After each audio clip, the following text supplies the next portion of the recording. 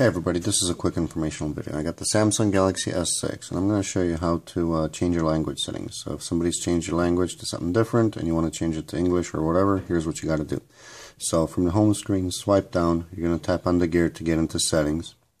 Once you're in settings, you're going to scroll down, you're going to look for the, oops, wrong one. Uh, you're going to look for the little A in the square. So you're going to tap on that and then the first option is your language settings and now that's how you can change your language. So hope this helped. Thanks for watching. Make sure to check out my other helpful videos.